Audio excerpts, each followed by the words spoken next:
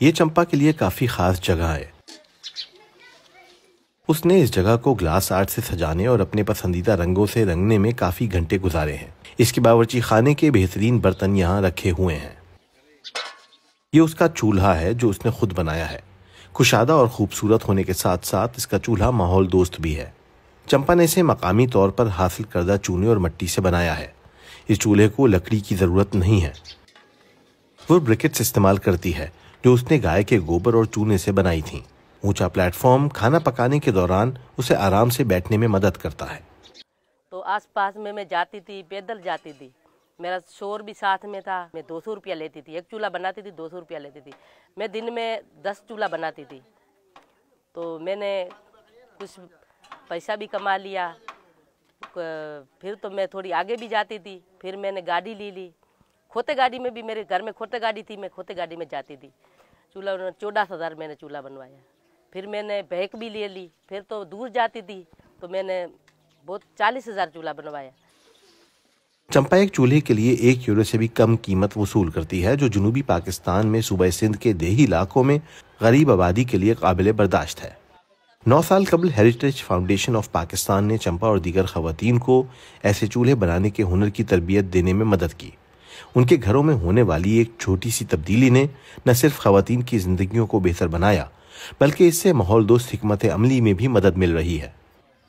सबसे बड़ा इन्वायरमेंट पे ये असर हुआ कि जहाँ भी हमारा चूल्हा जल रहा है, वहाँ पे लकड़ ज़ीरो कर दी, वहाँ पे वेस्ट मटेरियल यूज़ हो रहा है और इसके अलावा जहाँ तक तलक है इसके हेल्थ का, अभी हमारी एक ऑडिट टीम इस पर ऑडिट भी कर रही है, लेकिन जो भी अभी हमने देखा है ख़वान को जो दमे की बीमारियाँ होती हैं, आँखों बीमारियाँ होती हैं, धुएँ की वजह से उससे बड़ी रोकथाम हुई है।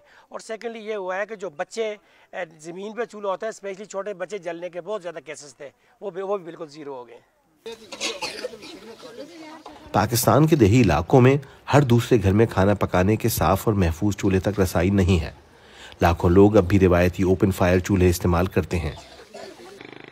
खातन को रोज़ाना खाना पकाने के लिए लकड़ियाँ लाने में घंटों लग जाते हैं। वो खातन जिन्होंने अब नए चूल्हे इस्तेमाल किए हैं, वो फ़र्क जानती हैं। चंपा कम्युनिटी के लिए कुछ कर रही है। आज वो और इसका शोहर करीबी गाँव जा रहे हैं। वो दूसरी खातन को खुद चूल्हे बनाने की तरबियत देना चाहती है। सबसे पहले चंपा बताती है कि ऊँचा चूल्हा खातन की मदद क्यों कर सकता है। वो उन्हें बताती है कि चूल्हे उनकी ऊंचाई की वजह से अक्सर सैलाब के पानी से बच सकते हैं और चूने के इस्तेमाल से कार्बन के अखराज को जज्ब करने में भी मदद मिलती है। चंपा खातन को बताती है कि पैमाइश कैसे की जाती है। वो हद का खाका बनाते हैं और चूने का मुरक्ब तैयार करते हैं।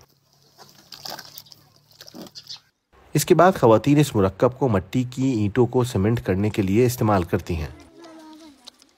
तकरीबन तीन घंटे की मुशक्क़त के बाद इन्होंने अपना पहला चूल्हा बना लिया। लेकिन चिमनी को सजाना इस काम का बेहतरीन हिस्सा है।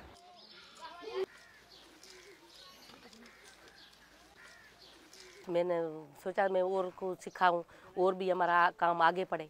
बहुत बहुत सारे हमारा पाकिस्तान में घर बन जाए ऐसा ऐसी जगह चूल्हा बन जाए ऐसी जगह सारी बन जाए तो हमारा बहुत गरीब लोग बहुत खुश है खुशहाली आ जाए।